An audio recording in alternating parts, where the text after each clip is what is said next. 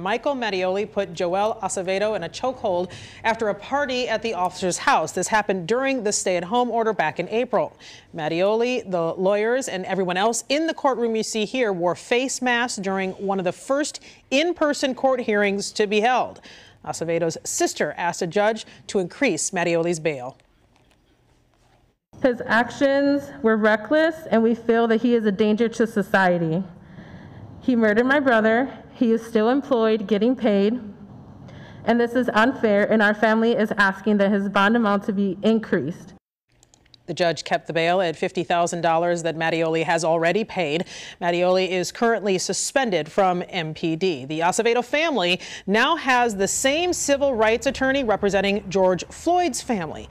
WISN 12 News Hillary Mintz is live at the courthouse tonight where a rally was held to support the Acevedo family.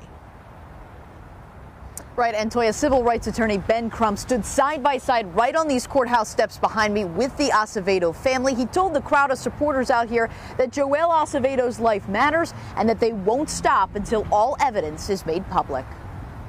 Brothers and sisters, we are here today is because.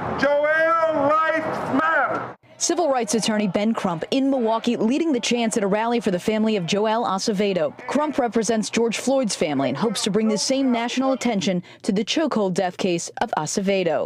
This was an unnecessary, unjustifiable, and senseless killing of Joel Acevedo, who should be here today. Crump joined the family in the courtroom for Officer Michael Mattioli's first court appearance, charged with reckless homicide. Prosecutors say Mattioli, off duty at the time, had friends over to his home in April. A fight broke out, and Mattioli put Acevedo in a chokehold while he called for help. Michael, what happened at your house the day Acevedo died? Michael, what do you have to say about these charges? Mattioli's attorney claims he did not act criminally. It is disgusting to me to sit in this courtroom to look at a man that held my son for 10 minutes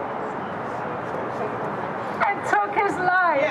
Release the video. The family has seen the body camera footage and heard the 911 call. They don't want to release the 911 because it is evidence of truth.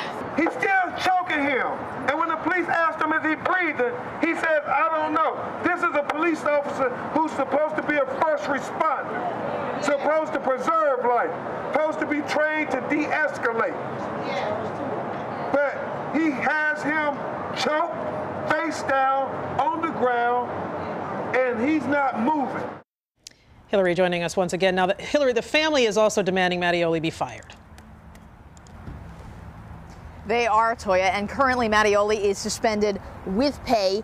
That decision of his the status of employment is up to the Fire and Police Commission. They have not made a decision yet. We called, we emailed the executive director today, and we have not heard back.